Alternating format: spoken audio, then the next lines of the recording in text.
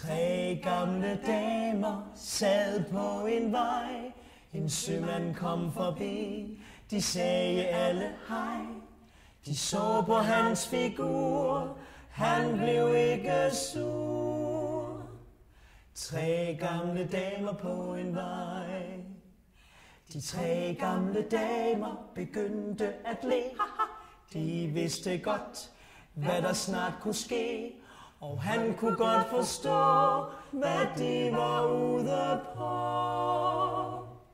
Tre gamle damer på en vej.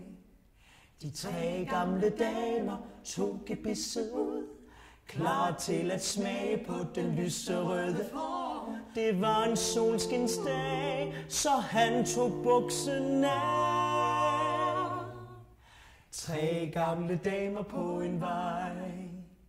De tre gamle damer udbrød alle ad. Den stakkels sømand havde jo ikke været i bad.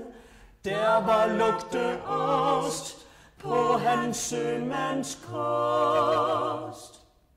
Tre gamle damer på en vej. De tre gamle damer sagde farvel med dig.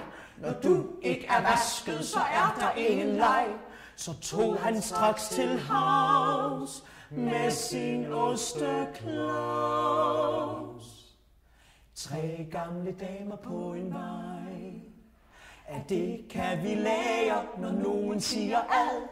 Er det nok på tide, man tager et grundigt bad?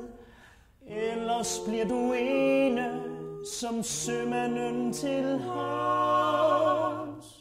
Som selv må ondulere sin klamme osteklaus.